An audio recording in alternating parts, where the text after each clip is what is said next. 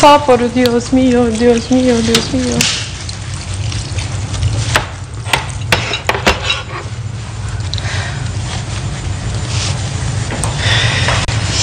Eu quero ver quem é capaz. Nossa, que nojo!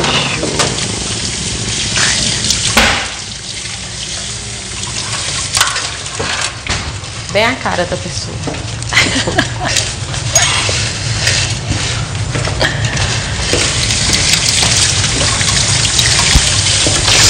Oi, gatinha linda.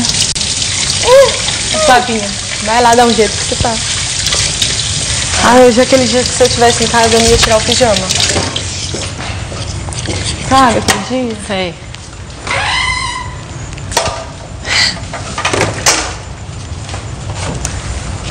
Sei muito bem. Beijinho.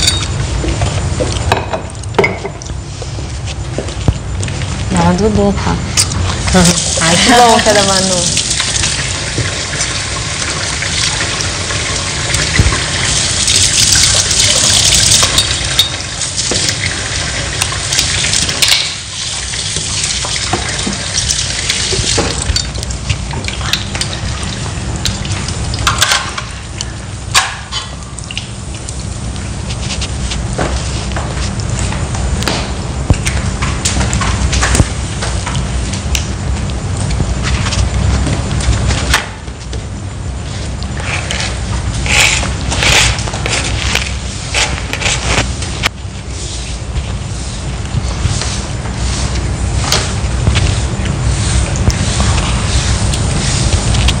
Com quem você aprendeu a cozinhar, Manu? Hum, Vendo a minha tia, minha mãe. Só assim, só vendo? É.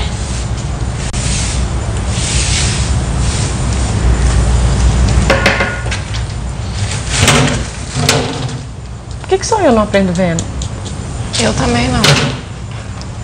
Deve ser porque a gente não. Acho que a pessoa já no nasce. fundo, a então, gente né? não quer aprender. A gente não tem É, vontade. para outras coisas aprende rapidinho, né? Que não presta, aprende rapidinho. Não, quando eu quero, eu aprendo muito rápido. Achei porque eu não quero. É, porque eu não gosto mesmo. Não tenho vontade. Por isso. Aprendi a tirar a cutícula porque eu queria muito, mas nunca pensei que fosse aprender. Pode ser que se a Karina saia, eu vou ter que aprender a cozinhar. Que quem que vai fazer comida? Também. Mas é lá, o que você quiser fazer lá, você já fez. Igual um cara que matou minha amiga. Lá. O namorado dela matou ela facada. Deu facada na vagina, no braço, em tudo. Ela tinha 16 anos. E ele morava na comunidade. Ó, ele saiu da comunidade pra matar ela lá em Japeri. Porque em Japeri não tem nada. Sem nenhuma lei assim. Sabe? Não tem ninguém que domina, nem a polícia domina direito. ela nenhum. ciúmes, o quê? Ó, não tava dando certo. Daí ela quis, se- quis separar dele. E ele, e ele descobriu uma. Ela, ele já tinha traído ela. Ele traía ela com essas meninas de. Tá. que vai ficar, tá paga. E ele chegava em casa sem dinheiro já, tudo, toda vez que ele recebia. Daí ela ficou com o cara. Mas ele já tinha terminado. Aí ele descobriu, ele não queria aceitar o fim, aí matou ela. Matou, brother? Matou. Ela tinha 17 anos, 16.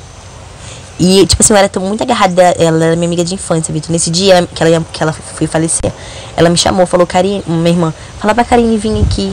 E ele tava lá, mas sabe o que, que é você querer sair de casa e uma coisa não te deixar sair? Parecia que Deus tava me segurando. Mas ele tava lá e foi do nada que começou a Ele briga? tava lá, ele não tava brigando não, ele tava conversando, mas ele já tinha um plano na cabeça dele de matar ela. E ela tava sentindo, porque ela deixou uma carta escrita pedindo pra mãe dela cuidar do filho. Porque ela tinha um filhinho. Meu, que sinistro, velho. Aí quando a mãe dela se mudando, achou a carta dela pedindo desculpa, pedindo pra mãe dela cuidar do filho.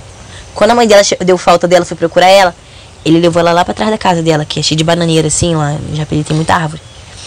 E daí ele tava dando a última facada no pescoço, aí ela gritou, mãe, me ajuda.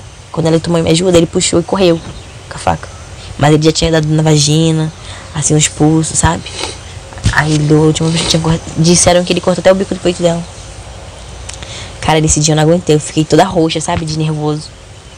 Porque também ele não ia muito com a minha cara, porque eu era amiga dela, sabe? Se eu, mas se eu tivesse ido lá, ele ia matar ela e ia me matar também. É verdade. Tá louco? Esse dia eu, putz, Eu não dormia direito. Olha, olha só o que ele fez, presta atenção, Vitor. Aí ele não matou ela na comunidade, eles tinham uma casa na comunidade. Ela, veio pra, ela foi pra Japeri, ele preferiu fazer isso com ela no Japeri. Aí ninguém pegou ele. Aí sabe o que ele fez? Matou ela em Japeri. Aí o pessoal da comunidade dele não sabia. Ele voltou pra comunidade. Aí ele queria tomar o lugar do dono. Aí fez que meio uma rebelião, sabe? Pra tomar o lugar do dono. Aí o dono descobriu, sabe o que fez com ele? Botou ele no pneu e tacou fogo.